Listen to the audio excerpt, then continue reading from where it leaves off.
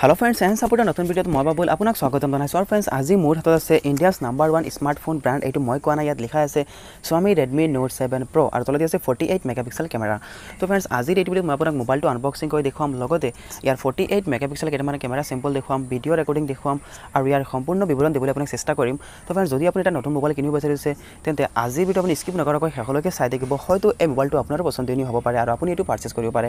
তো ফ্ৰেণ্ডছ ভিডিঅ'টো স্কিপ নকৰাকৈ শেষলৈকে চাই থাকিব আৰু ভিডিঅ'টো যদি ভাল লাগে তেন্তে লাইক কৰি দিব। আৰু যদি আপুনি এতিয়াও আমাৰ চেনেলটো ছাবস্ক্ৰাইব কৰা নাই চেনেলটো ছাবস্ক্ৰাইব কৰি ল'ব আৰু লগতে ওলাই বেল আইকনটো প্ৰেছ কৰি দিব। কিন্তু আহক আমি এতিয়া ভিডিঅ'টো আৰম্ভ কৰোঁ।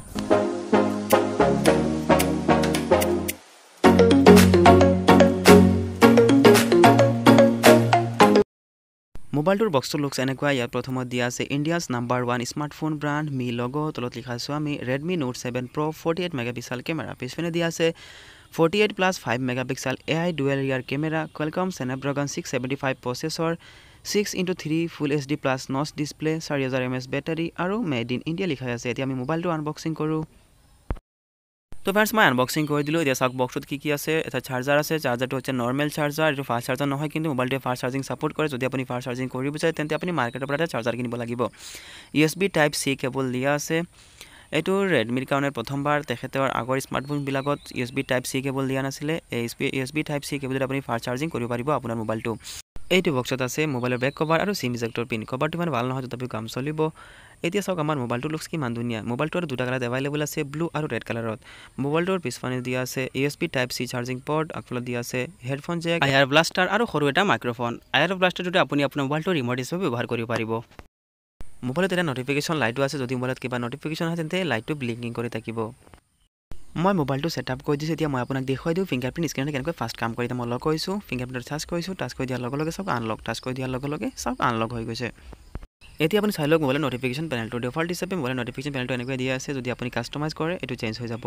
মোবাইলটোৱে ছাপোৰ্ট কৰে ডুৱেল ফ'ৰ জি বল্টি যদি আপোনাৰ মোবাইলতে আপুনি দুখন জিঅ' চিম ইনচাৰ্ট কৰে দুয়োখনতে নেটৱৰ্ক থাকিব।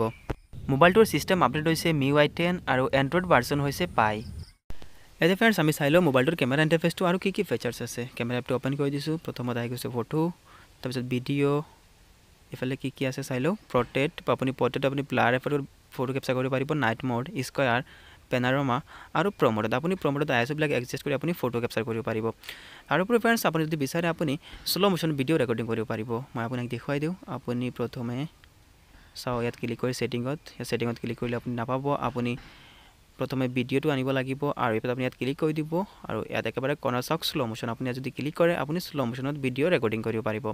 তাৰপিছত টাইম লেপছো দিয়া আছে আৰু যদি আপুনি ছেটিঙত ক্লিক কৰে ছেটিঙত ক্লিক কৰিলে আপুনি দেখিবলৈ পাব কেমেৰা ছেটিং আৰু আপুনি ভিডিঅ' কোৱালিটি আপুনি up to ultra H D আৰু লগতে four K thirty F P এছত আপুনি ভিডিঅ' ৰেকৰ্ডিং কৰিব পাৰিব। তাৰ উপৰিও ইমেজ ষ্টেবিলাইজেশ্যন আছে। আৰু ফ্ৰেণ্ডছ যদি আপুনি ফৰ্টি এইট মেগাপিক্সেল এনেবল কৰি আপুনি ফটো কেপচাৰ কৰিব বিচাৰে তেন্তে আপুনি ইয়াত ক্লিক কৰি দিব আৰু ফৰ্টি এইট এম্পু যিটো দিয়া আছে ইয়াত আপুনি ক্লিক কৰি দিব। ক্লিক কৰি দিয়াৰ পিছত যদি আপুনি ফটো কেপচাৰ কৰিব এইটো ফৰ্টি এইট মেগাপিক্সেল কেমেৰাৰ ফটো কেপচাৰ হ'ব এইটো কোৱালিটিও ভাল হ'ব আৰু এইটো ৰেম্বিও বেছি হৈ যায়।